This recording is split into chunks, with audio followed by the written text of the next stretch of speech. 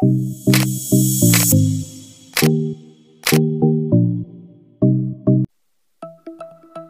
viral di media sosial kecantikan Vera Simanjuntak kekasih Brigadir J dibanding-bandingkan dengan istri Verdi Sambo Putri Chandrawati. Dalam video yang viral di TikTok tersebut terdengar diduga seorang jaksa tengah membanding-bandingkan kecantikan Vera Simanjuntak dengan istri Verdi Sambo. Bahkan jaksa penuntut umum tersebut juga membandingkan fisik antara Putri Chandrawati dengan kekasih baru Brigadir J. Vera Simanjuntak. Tak hanya itu, pada video yang viral di TikTok itu pun jaksa penuntut umum tampak menyebut bahwa bisa jadi justru Putri Chandrawati yang melecehkan Brigadir J. Di video berdurasi satu menit itu tampak menampilkan terdakwa kasus pembunuhan Brigadir J Putri Chandrawati yang menggunakan pakaian serba hitam tengah duduk mendengarkan dakwaan dari jaksa penuntut umum. Dalam dakwaannya tampak Putri Chandrawati menjadi sorotan netizen tatkala jaksa penuntut umum bicara soal dugaan motif pembunuhan Brigadir J. Menurut jaksa penuntut umum pada sidang yang berlangsung Selasa 1 November 2022 itu, belum tentu Brigadir J dihabisi karena diduga melecehkan pelecehan seksual pada Putri Chandrawati. Sorry to say, Bu Putri Chandrawati ini sudah tua. Calon istri Brigadir J ini cantiknya bukan main. Tidak ada saksi yang melihat bahwa terjadi kekerasan seksual secara berlangsung.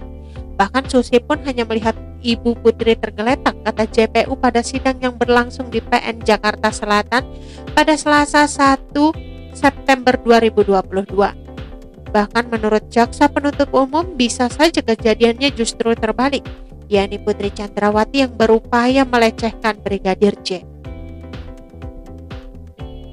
Kemudian Putri Chandrawati pun memperlihatkan ekspresi kesal atau jengkel saat jaksa penuntut umum mengatakan pelecehan belum tentu dilakukan oleh Brigadir J terhadapnya. Malah justru bisa saja sebaliknya putri yang melakukan pelecehan seksual ke Brigadir J.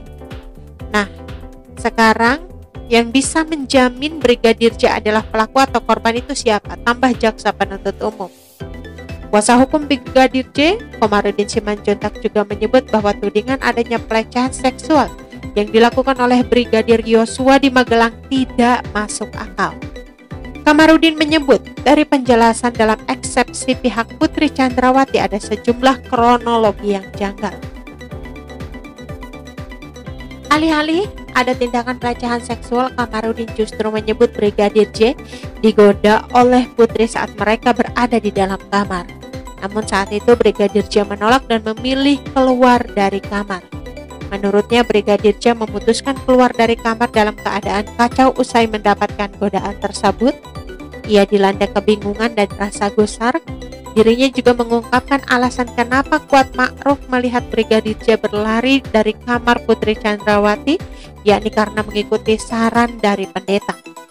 Nah, Yosua ini sudah benar. Dia berlari keluar menurut pengakuan mereka di ekspresinya sejelas dia. Setelah itu lanjutnya Putri Chandrawati melakukan hal tak lazim dilakukan oleh korban kekerasan seksual. Kamarudin kemudian peran Putri Chandrawati yang ketiga yakni menyuap para saksi LPSK dan lembaga lainnya.